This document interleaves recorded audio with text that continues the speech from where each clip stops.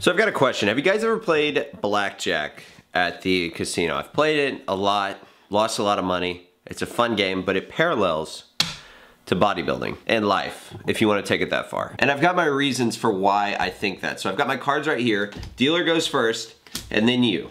Dealer, and then you. Now looking at the cards right here, the dealer has a 20, you'd stay right there, right? You're happy 20 out of 21, that's pretty content. And let's say this guy with the 20 is a guy with good genetics. He's ahead of you and you're here with the 15. You can't do anything about the hands that you are dealt. Just like in life, I feel like someone's always gonna have a better hand than you. You might be here, down here with the 15, he's got the 20, but if you make the decision, just like this card player can right here, to play the game, to do the best that he can, and to try to beat the guy with the 20, you can't say that it's impossible for you to win. So this guy, he makes a commitment. He makes the commitment on his weight loss, his bodybuilding journey. And he says, you know what, I'm gonna do it. Hit me, dealer.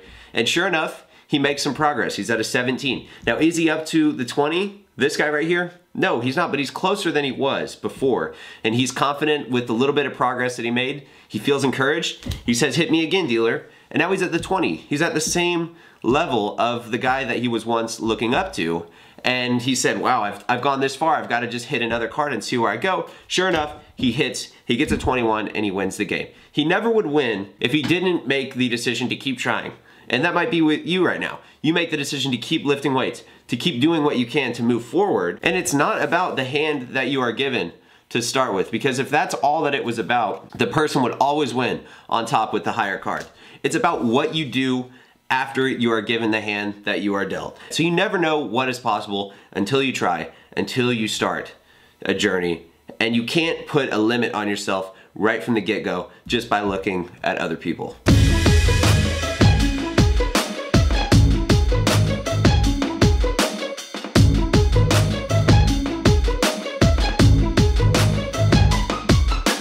Do these shots take a little bit longer to do? Yes. Do I have to walk back to the camera a bunch of times? Look like an idiot? Yes. But to me, they make the video more entertaining and that is priority number one. It's gym time.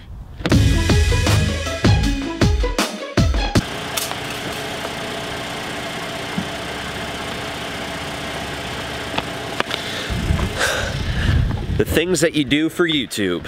Although, I do have to admit guys, I am getting better at operating this camera on the fly, including while I'm driving. Looks good.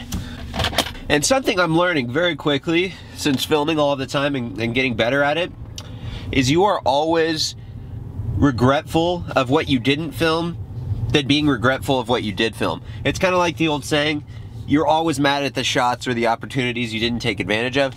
That's how it is with filming.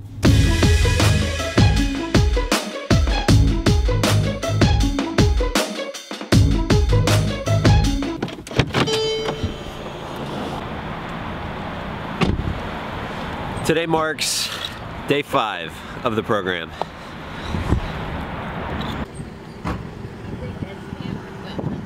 What's that? Yep, this is it. No, thank you. You have a good day. Take care.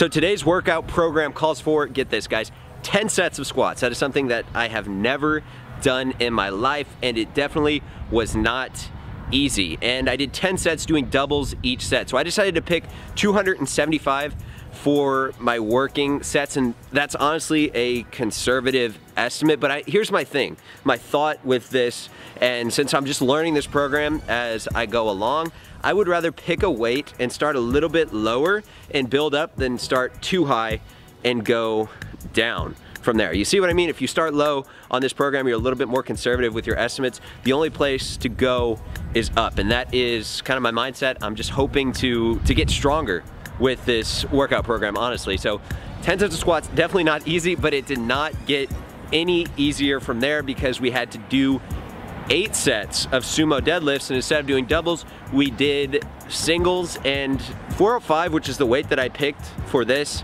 is a weight that I have repped out for 15 times before. Actually, more than that, like 18, I think. 17 or 18, it doesn't matter. And the singles felt incredibly heavy because that volume of squats before and just looking at this program on paper, you really don't think it's going to be that difficult. You're like, oh, okay, just four sets here, 10 sets, whatever. And you do those optional recovery days, which has been more bodybuilding oriented for me. I did those sprints and it's honestly kicking my ass. And after the deadlifts, moved on to stiff-legged deadlifts. And honestly, 185 on this exercise it felt great to not like be pulling 405. It just felt really, really light, really comfortable. And I kind of use this exercise today as my more bodybuilding exercise, higher reps, because that is important for me to keep the higher rep stuff, the hypertrophy stuff up. I've been doing that for years. I don't want to go backwards in gaining muscle. I would like to move them both in a positive direction. And then the program called for some glute ham raises or some lying leg curls Glute ham raises did not sound easy, so that's how we wrapped up the workout with some lying leg curls. I'm actually just finishing the workout right now, and I'm drained. It's time to go eat.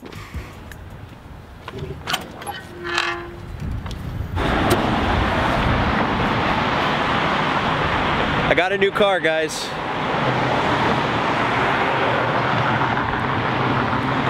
That was like one of the coolest looking cars I've ever seen.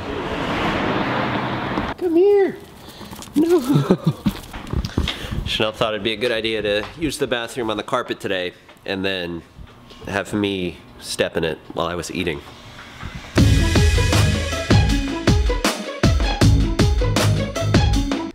We're off to get sushi. Guys, I just, I promise I'll never go to the bathroom again if you guys just leave me out this one time. Come on, it's time for bed.